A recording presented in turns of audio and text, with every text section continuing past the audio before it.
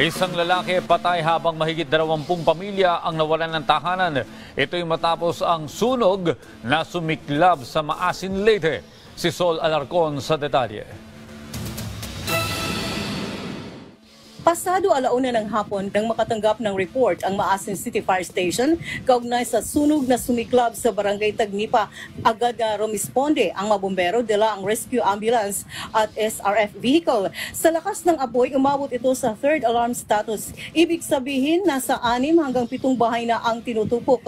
Kinakailangan na ring rumisponde ng mabumbero mula sa bayan ng Matalom, Macruhon, Padre Burgos, Tomas Opos at Ilongos Leyte. Sa mga litratong ito, makikita ang bayanihan spirit ng mga residente na nagtulong-tulong sa pag-apula ng apoy gamit ang mga timba o balde sa pagbuhos ng tubig.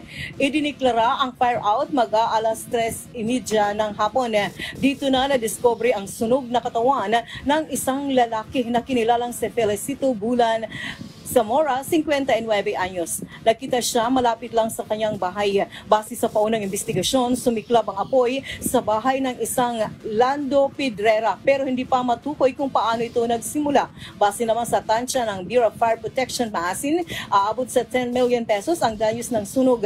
24 na pamilya ang nawala ng tahanan dahil sa insidente na posibleng magpalipas na lang ng Pasko bilang evacuee sa Maasin City Central School Building.